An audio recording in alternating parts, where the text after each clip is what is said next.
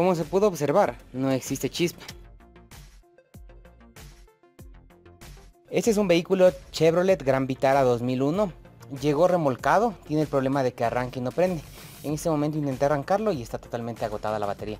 Así que en ese momento voy a pasarle corriente con otra batería para comenzar el diagnóstico.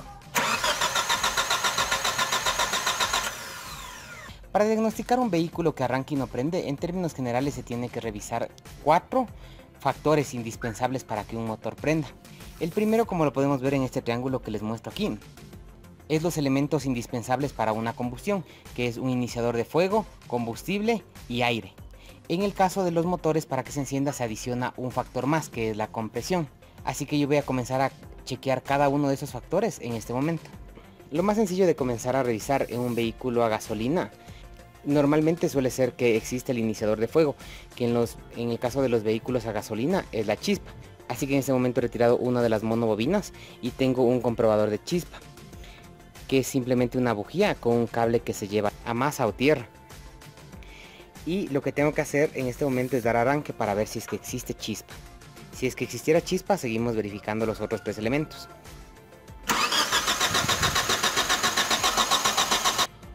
Como se pudo observar, no existe chispa. Así que para estar del todo seguro de esto, voy a sacar una monobobina más y voy a comprobar así mismo chispa. Aquí ya retiré otra monobobina y voy a hacer exactamente lo mismo. He colocado el comprobador de chispa y en este momento se va a dar arranque.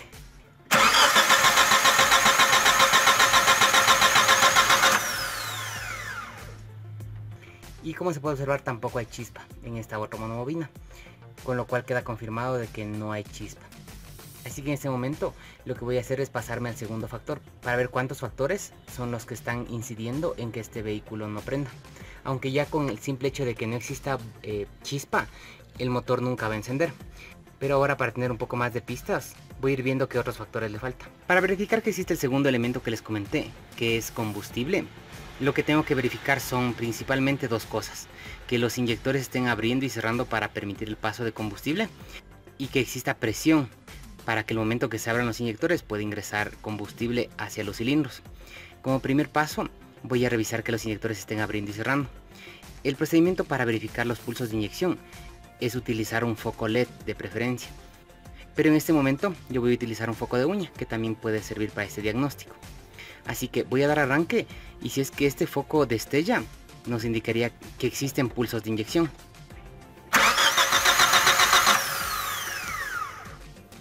Como se puede observar tampoco existen pulsos de inyección, así que quiere decir que los inyectores no están abriendo, por ende no va a pasar combustible. Como no tengo chispa ni pulsos de inyección, en este momento ya no se requiere hacer más pruebas.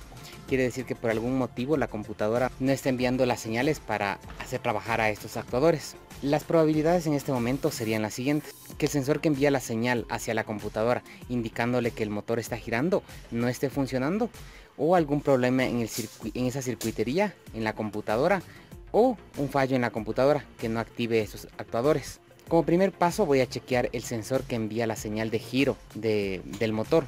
El sensor que da la señal de giro de motor de este vehículo Gran Vitara es el que se puede observar ahí. Es un sensor de señal digital. Así que lo que se debe encontrar en este cableado de este sensor es lo siguiente. Un voltaje constante de 12 voltios, una tierra proporcionada por la computadora y la señal digital que se envía desde el sensor a la computadora.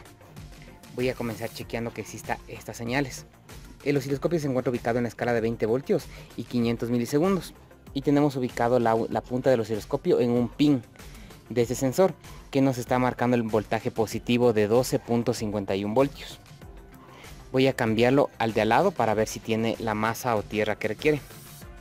Ahí tengo en cambio la señal de tierra que provee la computadora e incluso se encuentra el multímetro colocado con las puntas inversas mostrando que este efectivamente es señal de tierra. Entonces en este momento tengo colocado el osciloscopio en el cable de señal del sensor CKP.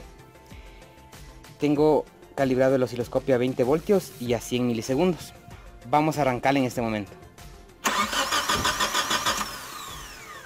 Y como se puede observar, no existe la señal digital. Este sensor no está enviando la señal digital hacia la computadora.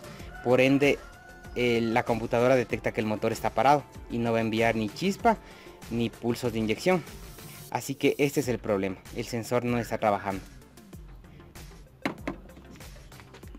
Existe una prueba adicional que se podría realizar para estar del todo seguros y es realizar un tap test. ¿En qué consiste eso? Como la computadora está esperando ver el pulso negativo que da este sensor, lo que podemos hacer es dar un pequeño toque con masa o tierra a este cable de señal. En ese momento debería haber pulsos, pulsos de inyección y chispa. Así que yo lo voy a hacer en este momento. Esto se tiene que hacer eh, con extremo cuidado ya que está trabajando con una conexión directamente a la computadora. Solo si es que se está seguro de lo que está haciendo, se lo puede hacer.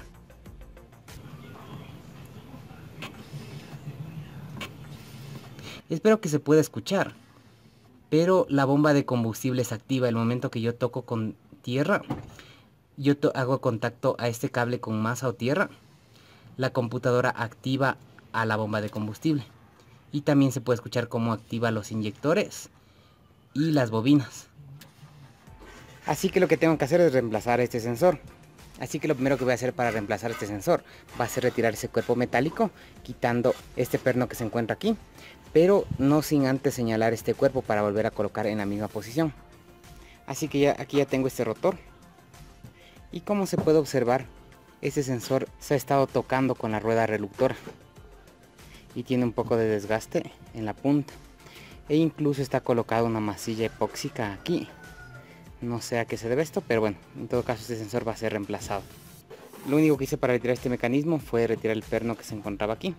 Y se desprende aquí ya tengo el sensor desmontado eso es lo que se va a reemplazar y este inconveniente también se pudo haber estado provocando por un desperfecto mecánico que esta rueda reductora no esté girando por algún motivo, quizá porque se haya zafado del mecanismo que la hace girar, o que el eje que está en el cabezote no esté girando, pero ya revisé estas dos cosas y se encuentran en buen estado.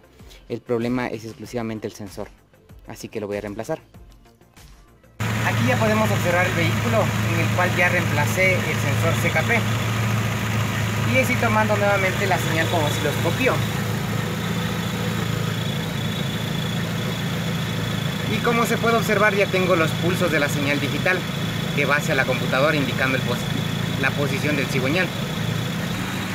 Así quedó este Gran Vitara 2.0. Gracias por haber visto el video. En la parte inferior tienen, tienen la caja de los comentarios, el botón de me gusta si el video fue de sagrado y se pueden suscribir para que sepan inmediatamente cuando suba un próximo video. Gracias y hasta la próxima.